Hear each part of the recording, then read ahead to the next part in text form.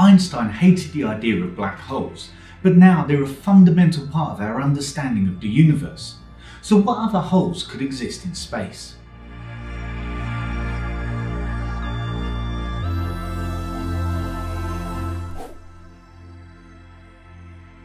Black holes are the remains of huge stars, at least eight times bigger than our Sun, but their mass is concentrated into a tiny area called a singularity.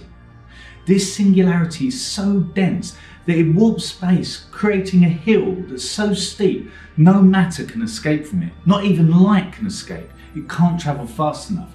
Hence, you get a black hole.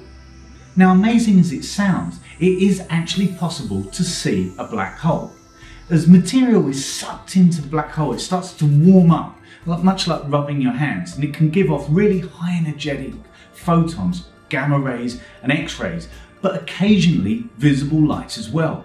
Now, even more amazing is that occasionally two black holes can start to orbit each other, and when they come into contact, some of their mass can be annihilated. In this region, space where it's been deformed can pop back up, sending ripples out in all directions, much like when you throw a pebble into a pond. These ripples spread out all through space, and they can reach us here on Earth, but they're tiny, less than the width of an atom. But recently, scientists here on Earth were able to discover them, and for the first time they were able to prove that these gravity waves existed. White holes are theoretical objects that can be thought of as the opposite of black holes. White holes can be thought of as massless regions of space.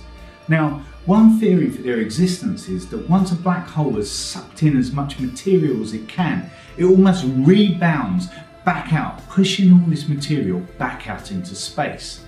A white hole can be thought of almost like a giant peak in space, and you never have enough energy to climb up that peak everything gets reflected back out, including light. Hence, you have a white hole. White holes are actually a quirk of the mathematics of black holes, and a lot of scientists dispute their existence. However, as we've seen in the past, lots of strange theories can sometimes turn out to be real. A wormhole, called an Einstein-Rosen bridge, can be thought of as a tear in the fabric of space. It's, it's a tunnel that connects two very distant points in space together. Now, I've got my two points in space here, A and B, you can see they're very far away. However, if I kind of bend space and connect them together and now create a wormhole between them, I can go from point A to point B instantly. And so I could travel huge distances in space in a fraction of a second. Like white holes, wormholes are a quirk of the mathematics of black holes, but they are generally accepted by scientists. However, it might be almost impossible to develop one that would be traversable by human beings.